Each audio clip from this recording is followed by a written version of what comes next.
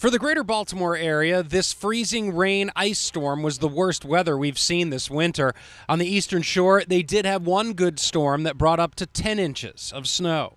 This hasn't happened in at least 15 years. The State Highway Administration has seen a windfall from the mild winter. The 2016 17 winter budget is $61 million, and so far, 36 million has been spent, mainly on storms that didn't materialize and the Eastern Shore storm, leaving an extra $25 million.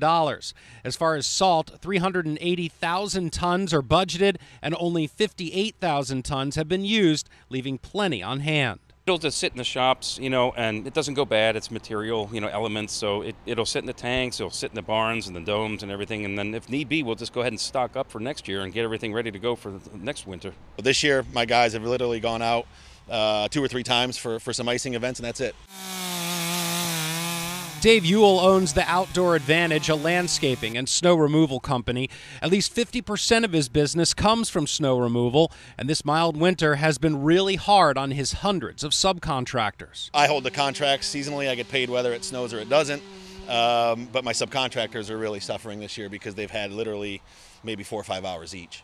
And hardware stores like Clark's Ace in Ellicott City are feeling the pinch too. After poor sales on winter items like shovels and ice melt, they've got to get in the spring fever too. Start selling some grills. Uh, we're getting the mowers out, starting to pack up the winter stuff. Lowell Melser, WBAL TV 11 News.